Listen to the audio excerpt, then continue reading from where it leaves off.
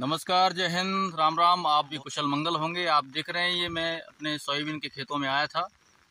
और आज लगभग पंद्रह और बीस दिन के बाद बारिश हुई है तो ऐसा लग रहा है जैसे फ़सल बहुत खुश है, पत्ते बिल्कुल चेचा रहे हैं और फ़सल खिली हुई है।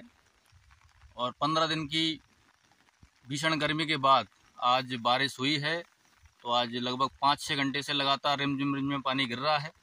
अच्छा पानी गिर गया है और फ़सल को काफ़ी काम आएगा। फ़सल का उत्पादन में इसमें बहुत सहायता करेगा। तो ये आप जो मेरे पीछे देख रहे हैं आर बी एस दो हज़ार अठारह सोयाबीन वेराइटी है, जो पहले से ही काफ़ी अच्छी थी और अब बारिश के बाद काफ़ी अच्छी हो जाएगी और उत्पादन अच्छा आ सकता है। फलियाँ भरने की अवस्था में अभी फ़सल चल रही है। तो लगातार देखते रहिए मेरे चैनल को, बासु इंडियन फ़ार्मिंग नाम से मेरा चैनल है। और मेरे वीडियोस को लाइक करें, शेयर करें, डाउनलोड करें और सब्सक्राइब का बटन दबाएँ। सब्सक्राइब के लाल बटन के पास ही एक बेल आइकन का बटन होता है, उसको भी ज़रूर दबाएँ, जिससे कि आपको मेरे आने वाले वीडियो के बारे में नोटिफिकेशन मिलता रहे। आप सभी को राम राम सभी सुखी रहें, खुश रहें, समृद्ध रहें। नमस्कार।